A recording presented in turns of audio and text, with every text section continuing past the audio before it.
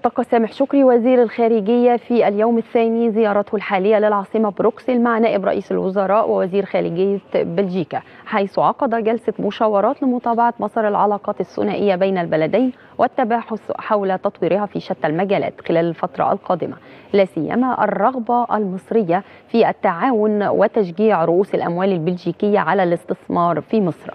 وقال المستشار أحمد أبو زيد المتحدث باسم وزارة الخارجية بأن مباحثات الوزيرين اشتملت على تبادل النظر تجاه تجاه بعض الأزمات حيث ثمن وزير الخارجية المواقف المصرية المتوازنة التي تحرص على الاستقرار.